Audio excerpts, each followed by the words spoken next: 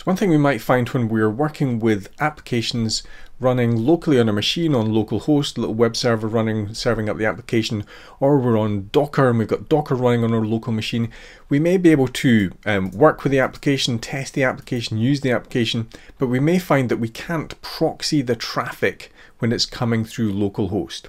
So I'm going to quickly show you how to fix that.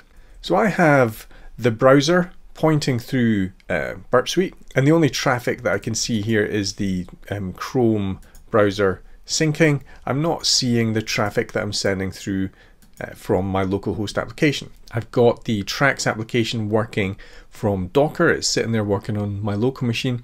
So how can I test this application and see the traffic that I want to see, not just the um, Google Chrome stuff?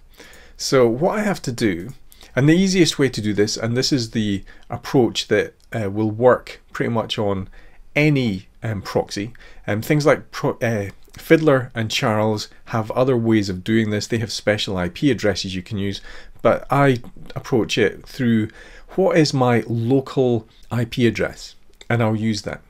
So the easiest way to get that for me is if I do an ifconfig, because I'm on a, a Mac, if I was on Windows I would use ipconfig, and to just make it a little bit easier, I'm going to pipe that through into grep and say I only want to see the stuff that says inet space. So there I can see my private IP address 192.168.1.113 and if I put that in here port 80 there we go. So now if I log in I'm starting to see now all this traffic. So I can uh, I can filter this now.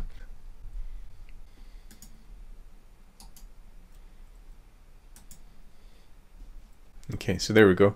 So I've added the proper URL into the scope.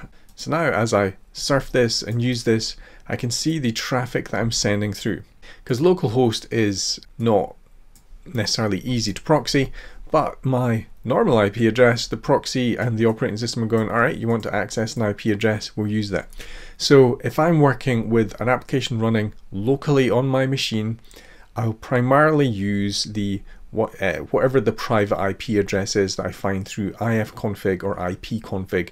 This one is running through Docker, so this is just the easiest way of seeing the normal traffic going through my browser to the application. ifconfig or ipconfig get your private IP address and use that to connect to the application.